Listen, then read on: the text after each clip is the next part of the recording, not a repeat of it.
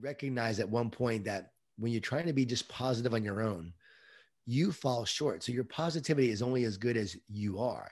And if you fall short, well, then positivity will fall short. Mm-hmm. But if your positivity is rooted in a greater power and a greater strength beyond you, which in Jesus, yeah. that is true positivity. That is real optimism.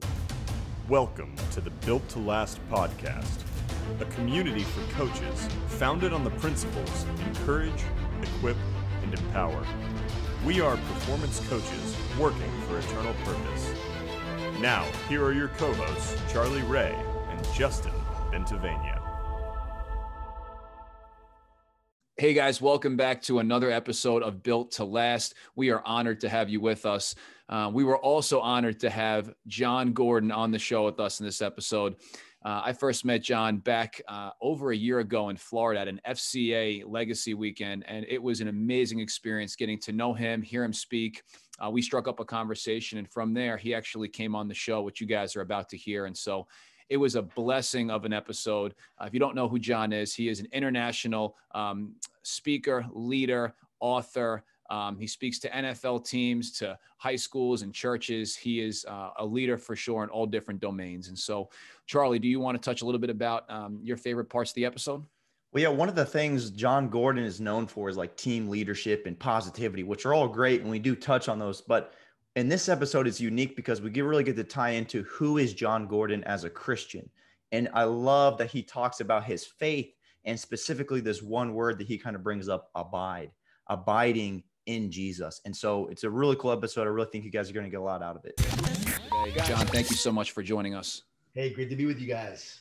So, Jon, I would be absolutely shocked if anyone in our profession did not know who you are. Um, but for anyone who doesn't, for anybody who's not familiar with Jon Gordon, um, can you tell us a little bit about yourself and how you got to the current role where you are today?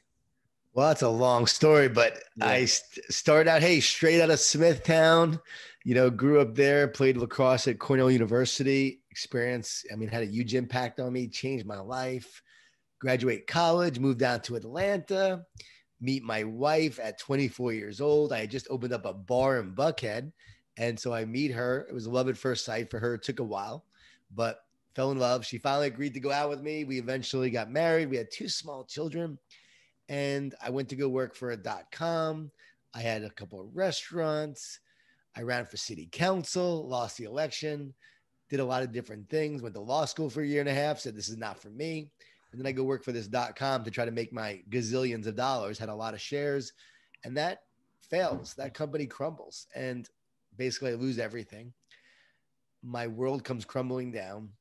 I am fearful and stressed and anxious. I'm not a good husband. I'm not a good dad. We had two small children, and she almost left me. And she said, If you don't change, like I'm out of here. She was ready to leave, and I had to change. So I begged her to stay. I agreed to change. And that began this journey of, of doing this work and becoming a more positive person. It was during that time I said, What am I born to do? Why am I here? And writing and speaking just kept on coming to me. I didn't know what I was going to write and speak about. I just knew that I wanted to do this and, and impact others.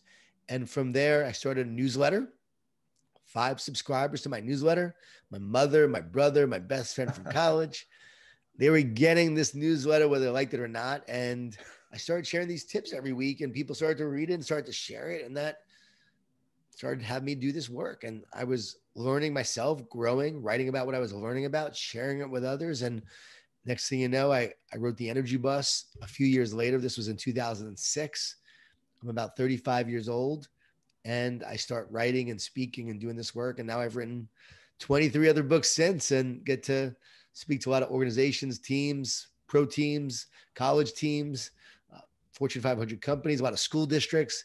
And as you know, I just love doing this work. Love uh, love talking about leadership, culture, teamwork, performance. Right? It's all about ultimately being our best. And I have a you know a, a faith part of me as well that that drives me to be the best I can be. I came to faith at, when I was 35 years old around that same time I wrote the energy bus and that changed everything for me. Yeah, the Energy Bus is an amazing book. I mean, that was my first introduction to Jon Gordon positivity. So definitely recommend that book to anybody who has not read it. The Energy Bus is a phenomenal read. But but just talking about your inspiration. So I mean, you're kind of known as like the positivity guy and leadership guy. What specifically drew you to those two topics? You could have talked about anything. You could have had a different path. What specifically in your journey inspired you and led you to those two topics and, and other things as well?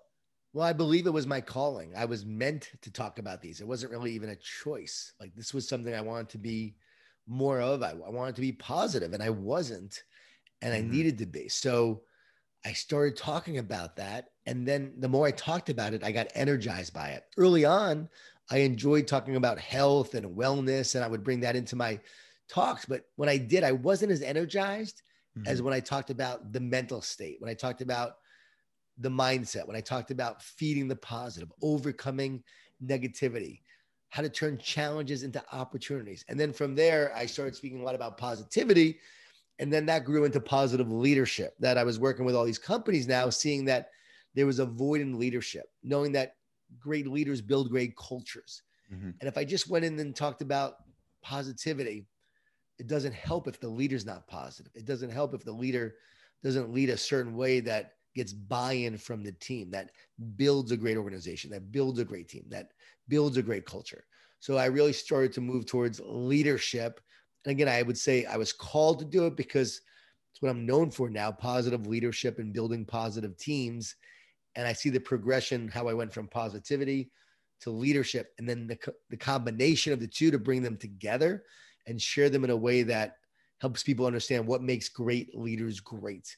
Alan Mulally, when he turned around Ford in 2006 during the Great Recession, they were losing uh, $14 billion. He takes over, he turns the company around one of the greatest leadership feats in history. And he defined his leadership style as positive leadership. And so here I was writing the book. I read that article. I reached out to him, interviewed him for the book, and and then never looked back, knowing that this is my work that I'm going to do for the rest of my life. Unbelievable. That's awesome. And one thing that stands out to me there, Jon, is when you got aligned with your purpose and things that you're passionate about, you you excelled in that area and God had a path for you and a plan for you. And it's almost like you just kind of stepped into it. It was where you were gifted, but then you honed your craft and you grew in that area. And um, I think anytime we're talking about things that we're passionate about, you know, it's always going to come out more genuine and uh, we're going to enjoy ourselves more. And so um, I know another thing, like you said, you're passionate about briefly earlier is your relationship with God. And so I just love to hear a little bit about how did you get passionate passionate about Jesus and why is he so important to you? Well, you have to know like your sweet spot for the first part of your question. Mm. It's like, where are your strengths? What do you love to do? Because you can be strong at something, but you're not passionate and you don't love it. So if you're really not loving what you do, even though you're good at it, you probably don't want to do that. I was good at the restaurant business. I owned several Moe's Southwest Grill franchises. And I asked myself, do I want 20 of these? Do I see myself having 50 of them 10 years from now where I'm a major restaurant owner? Will I be happy with my life running mm-hmm. a restaurant company? And the answer was no. I knew that I was good at it, but it wasn't for me. So, what are you passionate about? What do you love to do? What are your strengths? What will you do where you're not getting paid for it? Like that was my focus. And I yeah. said, you know what? I want to do this work. I want to write and speak. So I knew this was for me. From a faith standpoint, I was struggling in so many ways for for for so long. And a friend introduced me to some sermons by Erwin McManus, and one was called Why I Follow Jesus. And I listened to the sermon and it really spoke to me. Now, both my biological parents were Jewish, my mom was Jewish, but here I am now listening to a sermon about Jesus, and it really is speaking to me in terms of Jesus as a, a, a, Jewish rabbi, Jesus who was Jewish, Jesus who who came out of out of that heritage, and what he said and what he came to do. And I truly believe he came to unite man back to God, to reconcile man to God, to create the oneness that we are meant to have. Whereas we often feel separate. And the word anxious, you know, literally means divided. It's Greek root word. And so when you're anxious, you feel divided, you feel separate. So we know that there's this separateness. I wrote a book called The Garden, which talks about the separation of man from God in the Garden of Eden, which happened. And then Jesus came to reconcile man back to God. Once you understand the story, and they're all part of the same story, one's the beginning, one's the end, it makes so much sense with our souls going through what we're going through. And everyone talks about anxiety and fear and stress and this spiritual battle that's going on. And like negative thoughts, your negative thoughts come from you. And people always say, Yeah, they're in my head. my next question is really who would ever choose to have a negative thought? Mm. You would never choose a negative thought. I wouldn't. And so once you understand those negative thoughts are not coming from you because you wouldn't choose them, where like when you are dreaming and having a nightmare, are you choosing those thoughts? No, no one has ever found a thought inside of a brain. Thoughts are from consciousness, they come from a spiritual place. Once you understand that, you can start to see, oh, there's more to this. Eh, there is a spiritual battle. It's not about man made strategies. You'll never win a spiritual battle with man made strategies. You have to understand it's a spiritual battle, and you have to win the spiritual battle with a greater strength, a greater source, with supernatural power. And that's God. And for me, that's Jesus. And so that's what changed my life. And once I came to, to believe that and receive that, everything in my life changed. I'm not here to tell people what to believe or convince them of that. I just know for me, when I gave my life to Jesus and I accepted him as my savior, I was reconciled back to the creator of the universe in that oneness, which is the ultimate plan. And then from there, I had more strength, more wisdom, more peace, more joy, more love in my heart, not judgment. If you see Christians as that way, that's not a real Christian. We're not called to judge, but called to love and called to share that. And that's how I try to live my life. I wrote The Carpenter, which is about love, serving, and caring. And those are the three greatest success principles of all. And that's how Jesus led love, serving, care. So I'm just passionate about Jesus. I'm passionate about God. I'm passionate about, you know, knowing that there's a creator of the universe and that creator cares about my life, cares about your life, that we're all children of God. And knowing that, that drives me to do what I do. Now, when I speak to a company, do I do I share this? Not all the time, no. When I speak to a sports team, do I share? Not necessarily, because I have to respect where the coach is, where the team is, but I will share my essence of who I am and my faith comes through. It drives me to do what I do to make a greater impact. And I can help that team perform at a higher level as a result of the energy I bring to that team. And so most organizations are, are okay with me knowing that I'm a person of faith. They're okay with me coming in, right? And wanting to make a difference because they know it's going to benefit their people. But it's my faith that drives me, and people should know that. And I'm not shy about it. If someone asks me, I'm going to tell them. But I also know that I don't have to be doing an altar call at every talk, right? But but I do know that Jesus is my strength, and I know that I am who I am because of that relationship. Yeah, man, so many good things I could comment on right there. Jon, I just really appreciate your vulnerability and openness in that. And, you know, maybe something our listeners probably would love to hear too is, you know, you're the positivity guy, but what do you do when, when life isn't positive? Have you had any really hard trials that you would be willing to share with us and, and how Jesus, not just positivity, but how Jesus in your life has really helped you overcome that? Well, my faith in God doesn't make life easier. It makes me stronger. Amen. And Amen. it doesn't mean you're not going to face challenges. You're going to have setbacks. You're going to have obstacles. It's not like, oh, I have this faith and everything is is great. On my own, I am fearful. With God, I am faithful. And so Wow. in that faith, I find a greater strength. And any addiction program actually believes in a higher power. Why? Because these addiction programs know, and it's a universal truth that we are not strong enough on our own. Our will is not strong enough. We need a greater strength. We need a greater power to tap into.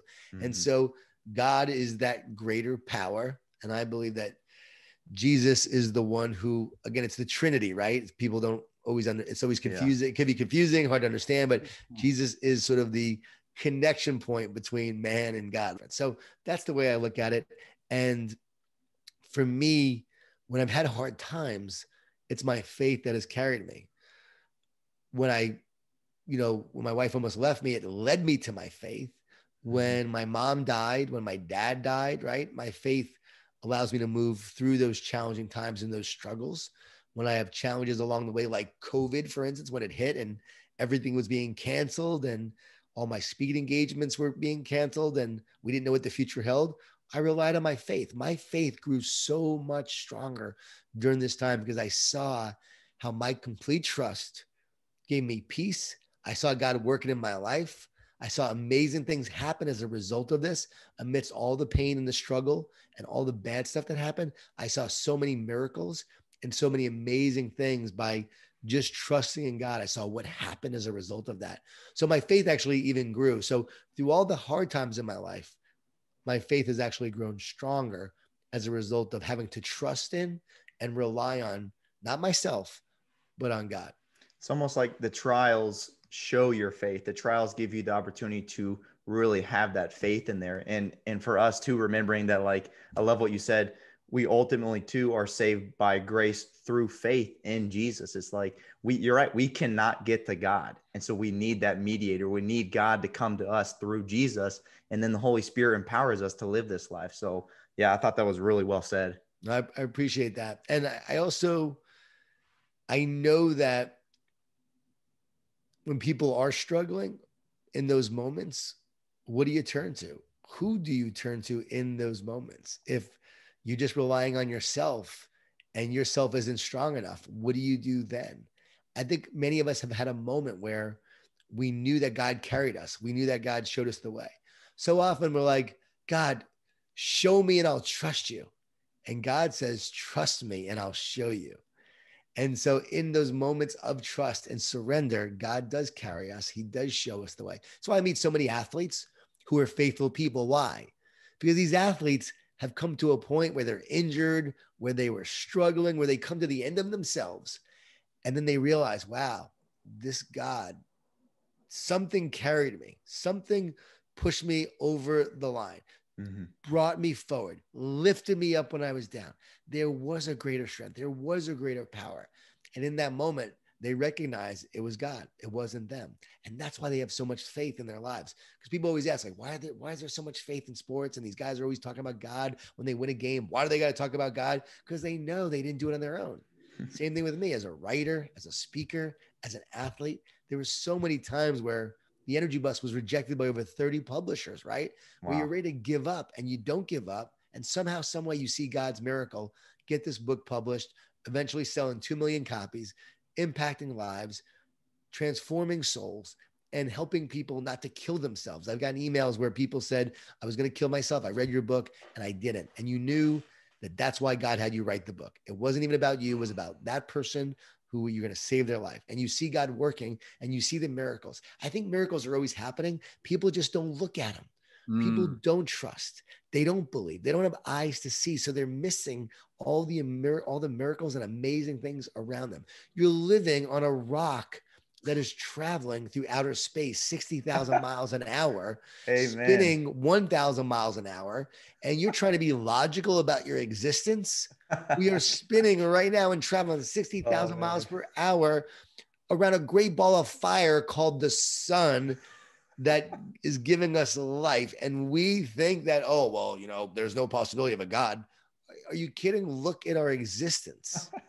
wow. So true. Amen. It's awesome. Um, I think we could like, I feel like you could preach a sermon, Jon, if you really wanted to. I know, man. Let him go. Let him go. awesome. Well, I, it's funny. I did the power of a positive team the other day at a church, a talk I give to a lot of teams, organizations in a very secular way. But then yeah. I was in a church and I did it as a church, and it was really fun to deliver it in a church format, talking about even the Trinity yeah. is a team the Father, the Son, and the Holy Spirit. Wow. We were all made for relationship. So even the essence of life, the Trinity, is a relationship. And we were made for relationship, one with God and one with each other. And what does the enemy want to do? The devil wants to separate us from God, our relationship with God, and separate us from each other. Mm-hmm. What is mm-hmm. happening right now on Isolation. this planet, in this country? The wow. enemy is doing a great job separating us from each other, dividing and separating and dividing people from God. But a lot of people are also coming to God because they're finding they need something greater in this moment. They've come to the end of their themselves. They're facing anxiety and stress and fear. They've had enough and they're like, help me.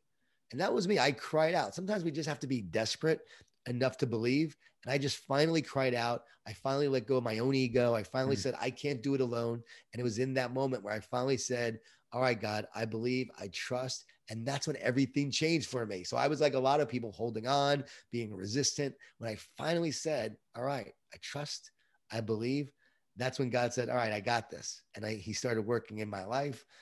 And I, when I remember when I was, I was like, all right, I'm going to give this Jesus a shot after yeah. finally just saying, I'm going to trust.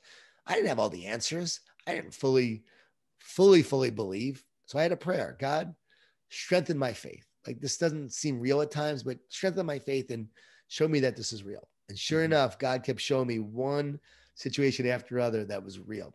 And sometimes I question, like, do I really believe this? Because for so long I didn't. but I can't discount how God has changed my heart and how my faith in Jesus has changed me. I realized I need a savior because I couldn't save myself. Mm. And once you recognize that, that's the beginning of you finding a greater power to live in this power and truth for the plan that God has for you and for the life that He has created you for. And that's where the power is. So you can resist, you can resist, but you'll never fully live the life that God has for you. Jon, it's awesome that you've written so many books because your life seems like you've just learned lesson after lesson, and we're blessed that we can read it in the pages of your books. And so, um, you know, if you can go back to an earlier, younger Jon Gordon, um, early in your faith walk, early in your life, I mean, what are some of the things you wish you would have knew then that you know now? Stop trying to be perfect. You're not. I would tell myself, you'll find her the right woman is is out there for you. So don't worry about that. You'll find her in the right time, in the right moment, in the right place. I would tell myself, don't tie your performance to your identity. What you do is not who you are, and never allow the outcome or your performance to to determine how you feel about yourself. Because as a former athlete, you know, played lacrosse at Cornell, I always had this desire to be perfect, never wanted to mess up. Mm-hmm. I never fully enjoyed the games I played because I was always worried about messing up. I always had this fear of not performing to a higher level. And I was always worried about the outcome. So I never enjoyed the moment of just playing and competing. I never played free. So if I can go back and do it again, I would have just given everything I had in the moment. I would have loved the opportunity to compete. I would have loved playing the game that I, that I fell in love with and played with that childlike spirit instead of worrying so much. I see, t- I see too many young athletes, fear, stress, anxiety, performance, ah, social media, yeah. everything is causing them to look outside, right? They're causing them to look outside and to outcomes instead of inside into the soul of who they are. Yeah. Man, that is, that is so good because I feel like so many times we forget the things that we've learned. And so being able to step back and say, if I could go back and talk to myself. So my final question for you, Jon, is if you could go back and, and talk to coaches now that are listening to this podcast, I mean, we have a lot of young strength coaches, a lot of young um, Christians that are new in the faith. Maybe they just became a believer during this COVID pandemic season. What would be your best advice for those that are wanting to grow in their faith? Working with Dabo Swinney all these years for the past nine years at Clemson football, it would be love tough, not tough love. So when you are coaching love must come first. And when they know you love them, you earn the right to challenge them and push them. You've got to show them what love really looks like.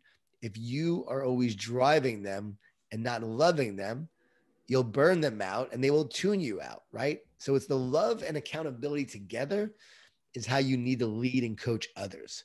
I would also tell you to feed yourself each day so mm-hmm. that way you can feed others. The more you read, the more you pray, the more you you focus on your own spiritual journey inside you that's what changes right? yeah. who you are on the inside determines how you lead mm-hmm. and as you develop that spiritual maturity on the inside it, it gives you more power and strength real power and strength to impact others outside you so you have a greater impact on the lives of others by you feeding yourself so that way you can feed others and if you don't have it you can't share it so it's about feeding yourself each day so that way you can feed others and the best advice I ever heard is from Dr. James Gills, the only person on the planet to complete six double Ironman triathlons.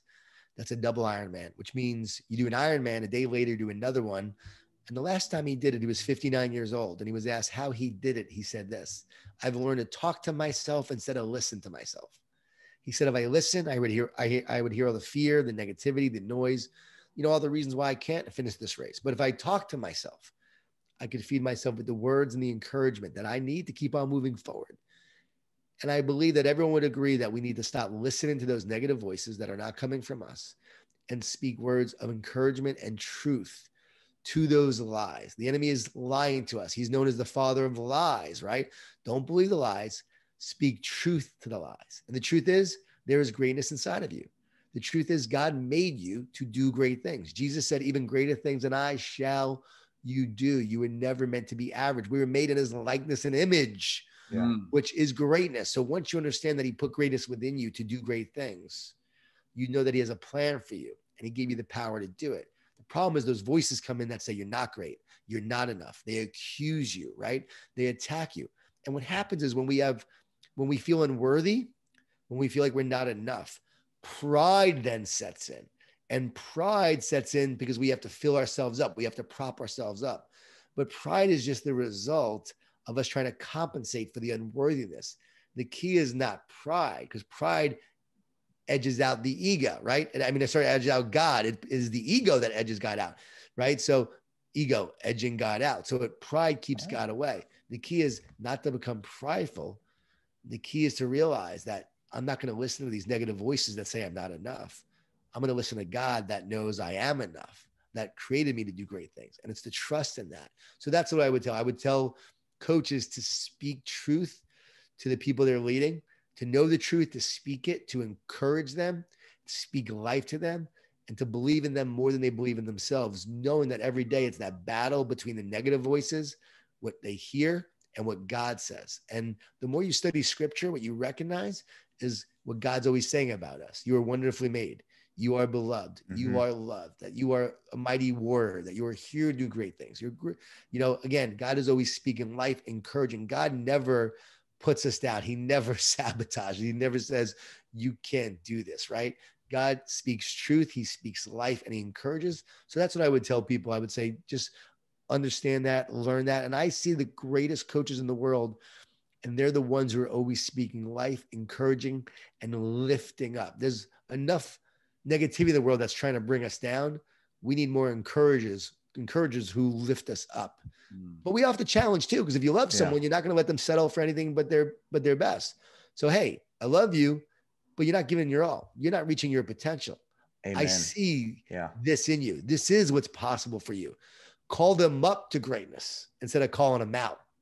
Don't call them out, call them up to greatness. And I love that, uh, Jon. So we finish every episode with three questions. We call them fast finishers, and one of them is your favorite Bible verse. So uh, I don't know, Jon, if you have a favorite book um, uh, on your mind right now, favorite book, favorite Bible verse, and then how do you define success?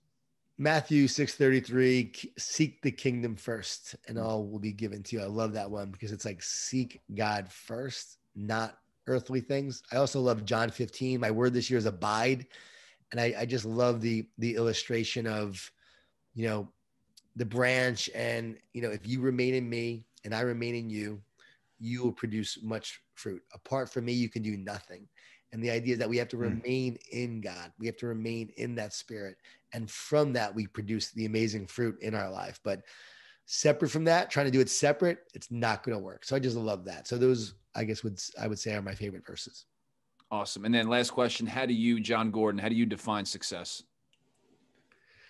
Dr. David Jeremiah, I read his book recently called Forward, and he says success is the fulfillment of God's plan for your life.